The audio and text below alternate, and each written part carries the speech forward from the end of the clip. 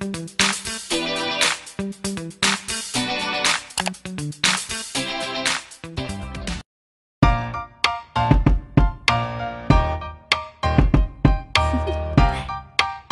you wanna know?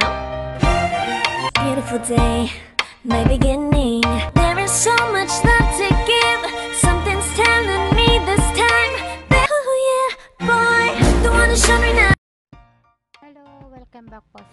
Channel. Panibago pong videos na naman po para ma-share ko po sa inyo.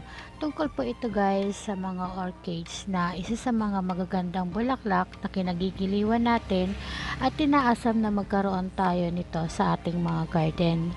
So bago pa ako magpatuloy, uh, inanyahan ko muna po ang mga bago po sa aking channel na makisubscribe naman po, like, comment, and then click na rin po ang aking notification bell para updated po kayo sa aking mga videos. Ang isi-share ko po sa inyo ay mga simple tips or guidelines para po sa ating mga orchids na mga tanim.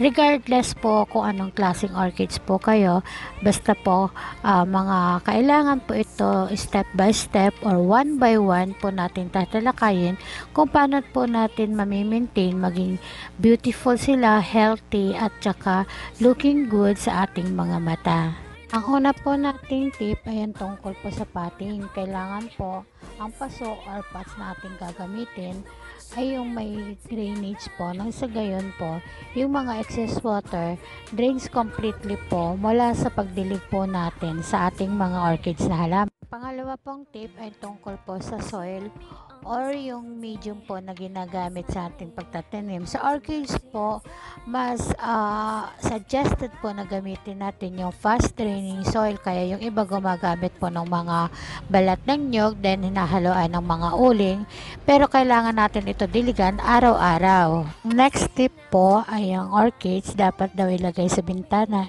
na kung saan nasisikatan sila ng araw. Ito ay malaking tulong sa mga tanim para maging malakas pero ay masyadong direct sun ang lugar kailangan lagyan natin ng kortina para hindi sila masunburn. Number 4, kailangan mag-maintain pa tayo ng kanilang temperature na 60 to 75 degrees Fahrenheit.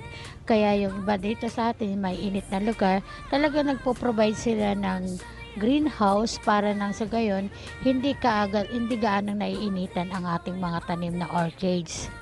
Number 5 po, kung paano po naman natin didiligan ang ating mga orchids. Depende po ito sa inyong climate. Kung dito po sa mga probinsya na maiinit, uh, kailangan po ito diligan araw-araw, lalo po kung mga outdoor po sila. Pero kung ito po ay indoor, uh, madali din naman matrace uh, sa pamamagitan po ng pagsalat po sa kanilang mga pots na inilagay natin or medium na nilagay natin para malaman kung ito ay nangangailangan ng diligan. Next ay fertilizer. Para sa maganda na pagbibigay nila sa atin ng mga bulaklak, kailangan natin silang bigyan ito. It's either bi-weekly or monthly. Nagbabari lamang ito sa fertilizer na inyong ibibigay or orchids na inyong mga tanim. At ang pagputol naman sa kanilang mga tangkay kapag nagsisimula nang mamatay o mawala na yung kanyang pinagbulaklakan, kailangan ikat na po natin ito. Sa pang mga importanteng tips po ay yung pagtatanggal po ng mga insects sa kanilang mga leaves o dun sa mga pagitan ng mga tangkay. Kailangan tanggalin po natin ito sa pamamagitan nitong ating mga kamay lamang. Lahat na nakikita natin, tanggalin po. And then after that, pwede nating hugasan ito ng water or punasan po ng uh, malinis na tissue or yung tela.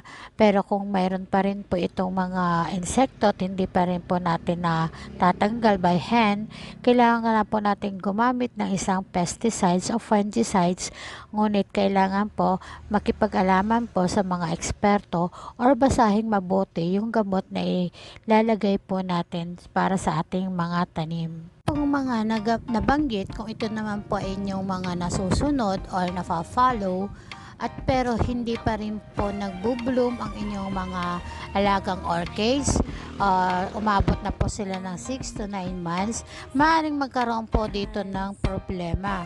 Isa na po dito yung not enough light or too much light po, uh, wrong temperature too much or too little fertilizer, yung nakakaligtaan natin sila bigyan ng fertilizer.